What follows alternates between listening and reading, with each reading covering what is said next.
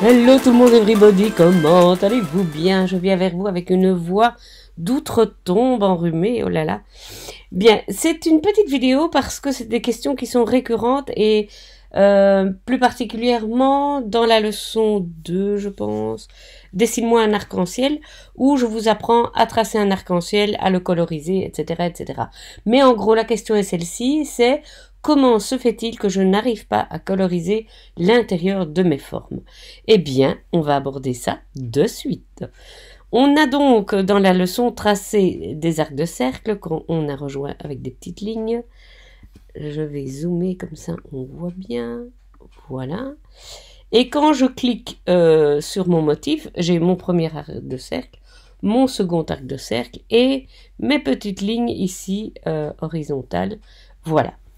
Et c'est à ce moment-là que vous me dites, Anne-Marie, je n'arrive pas à le fermer et à mettre de la couleur dedans. Alors, on va déjà choisir la couleur, on va décider que c'est orange. Comme ça, quand ce sera bien fermé, il va se mettre en orange, vous allez voir. Mais je voudrais faire un petit préalable.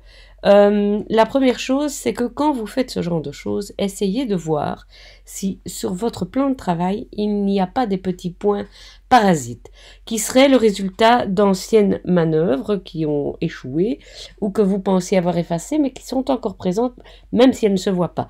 Je dis ça parce que euh, quand je donne mes cours en ligne et qu'il y a des personnes qui ont des difficultés, je leur demande de m'envoyer leurs fichiers et j'étudie leurs fichiers pour voir qu'est-ce qui pourrait faire que ça ne fonctionne pas. Et notamment, ce qui m'arrive très souvent de trouver, c'est ceci. Regardez, je vais cliquer en haut de mon écran et je vais tirer et regarder ce qui se passe.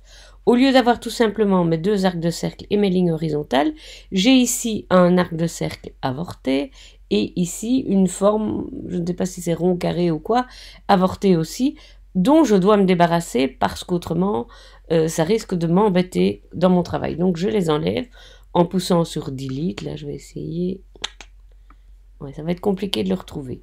Donc je vais prendre tout ça ici un par un. Hein. Donc en maintenant ma touche majuscule enfoncée, je clique sur euh, mes deux arcs de cercle successivement et mes deux petites lignes. Je vais les faire descendre. Voilà. Ici, je regarde s'il n'y a vraiment plus rien et je supprime. Et je récupère ceci que je vais remettre en place. Ça, c'est la première chose à laquelle vous devez faire attention.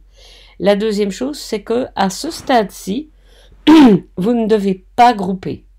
Il ne faut pas grouper il faut faire clic droit, créer, pardon, créer, tracer composite. Voilà. Mais vous me, vous me direz, mais oui, mais Anne-Marie, même comme ça, j'arrive, j'arrive pas à la remplir.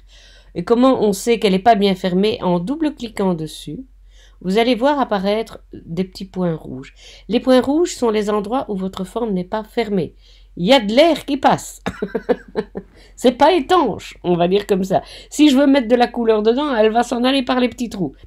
J'essaye de trouver des images vraiment pour vous parler. Donc, je vais zoomer en allant sur la touche Z. Attendez. Z.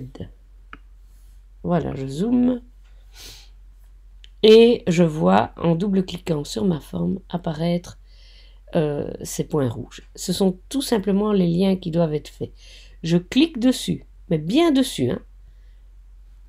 Voilà, donc j'ai fait un clic euh, gauche et je vois apparaître un, petit carré qu'on appelle un point ou un nœud suivant, les logiciels. Et euh, je vais vous montrer maintenant, donc théoriquement je devrais faire ça à mes quatre points rouges, hein, mais je vais vous montrer le genre de choses qui peut arriver pour avoir vu faire. c'est que vous voulez euh, cliquer dessus. Hein. voyez, regardez, si je me mets là, voici ce qui apparaît comme motif. Une flèche avec une ligne.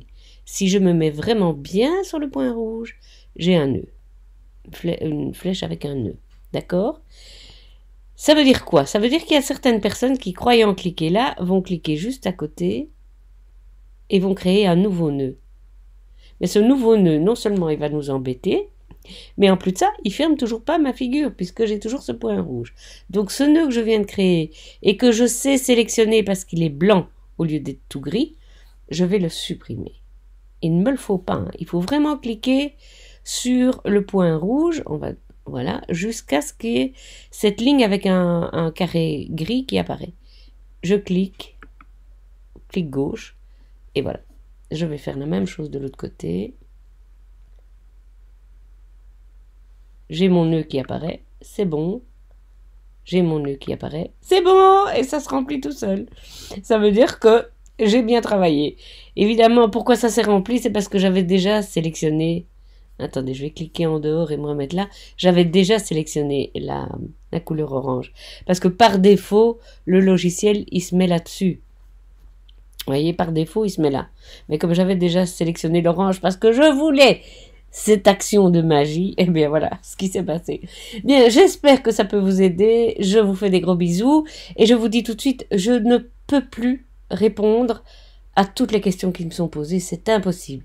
Euh, je fais des vidéos, il y en a plein sur YouTube, je donne des cours en ligne, que ce soit des cours privés ou des cours euh, qu'on peut acheter leçon par leçon, mais euh, au-delà de ça, je ne peux plus répondre à tous vos messages, il y en a de trop.